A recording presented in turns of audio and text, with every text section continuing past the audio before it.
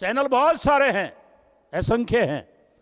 लेकिन first India, जिसमें एक शख्सियत है, शायद हाइट तो उनकी चार या साढ़े चार फुट होगी, जगदीश जी कातिल की।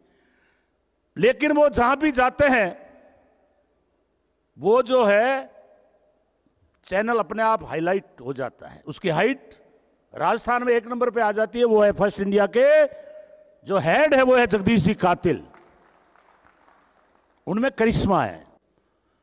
जिस तरह से फ़र्स्ट इंडिया, एक समय में हम नहीं जानते थे, ई टीवी जानते थे राजस्थान, क्योंकि उस टाइम जगदीश जी कातिल इसमें थे।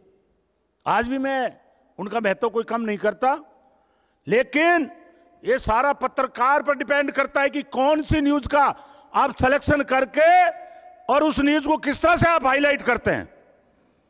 मैंने देखा है, बहुत सारी समस्याएँ कई बार हम प्रशासन ध्यान में नहीं लाते। सरकार के अंदर ध्यान में नहीं आती। और ये अगर नीचे से उठा करके उस खबर को हाईलाइट कर देते हैं और उसका सॉल्यूशन हो जाता है। आजकल मीडिया की खबर को सरकार बहुत गंभीर लेती है।